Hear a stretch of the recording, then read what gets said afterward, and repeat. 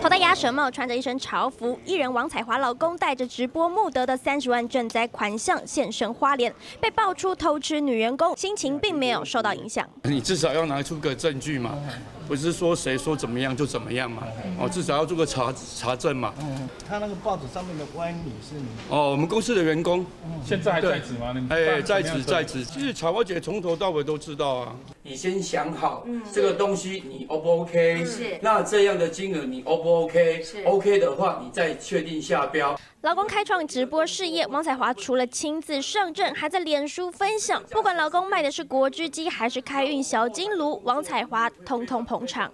结婚十一年，王彩华却被爆料婚变，老公疑似背着她和女员工偷吃。出轨的对象年约二十八岁，曾参加模特儿选拔大赛，身材姣好，也曾经出现在直播镜头前。但王彩华驳斥老公出轨根本是没证据乱爆料，强调女员工是有付薪水的员工，怎么可能乱来？我很相信缘分，就是一个朋友介绍，然后认识，就很投缘，就觉得他很幽默。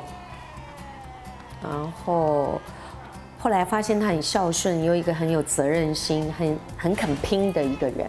脸书上，王彩华频频晒出跟老公的恩爱照，结婚十一年，生了两个女儿，大媒人竟然是土地公。我那一直觉得，哈，是真的这样吗？开始个挂了的，第二杯马个想杯，连续那个想杯。我老公跪在那边，我就站在旁边，我就说，嗯，好吧，那我们结婚吧。